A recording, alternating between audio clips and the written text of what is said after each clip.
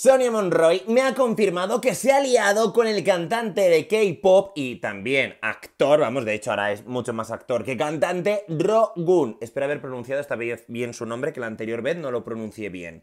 Rogun, Rogun, es que estoy viendo muchos sitios que cada uno lo pronuncia de una manera. Pero ahora os cuento todo. Todo lo que me ha dicho Sonia. Lo cuento todo, pero antes seguidme para estar al tanto de la última hora de todos los salseos.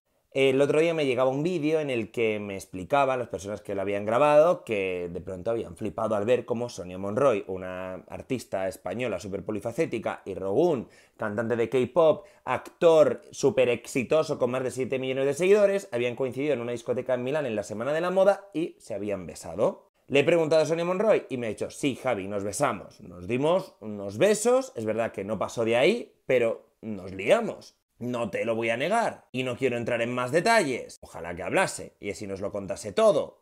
A Sonia Monroy le ha molestado mucho que la gente diga que ella era la que iba detrás de él porque él es más joven. Ella me dice que atrae a un montón de chicos más jóvenes que ella. También me ha sorprendido leer a mucha gente que no le gusta que salgan noticias así de Rogun, de que salía con una chica en una discoteca. De verdad, ¿qué más da? Es un chico súper exitoso en su trabajo y pues también se lo pasa bien. Y en este caso, pues fue en una discoteca en la que había muchísima gente que les veía por todos lados. Y concretamente Sonia Monroy pues me ha confirmado que sí que se besaron. Por cierto, también me ha dicho que está produciendo su propia serie y que le encantaría contar con Rogun para un personaje. Y oye, Rogun, anímate. Porque Sonia Monroy es una de las artistas más polifacéticas que tenemos en España. La hemos visto cantar incluso en todos los idiomas. Ha cantado en japonés. Y ahora me ha dicho que le encantaría cantar una canción en coreano. La hemos visto liando la parda, pero parda, parda, parda en los Oscars. O sea, por favor, buscad el momento de Sonia Monroy en los Oscars, que es oro. En miles de personajes, porque ha interpretado muchísimos personajes a lo largo de estos años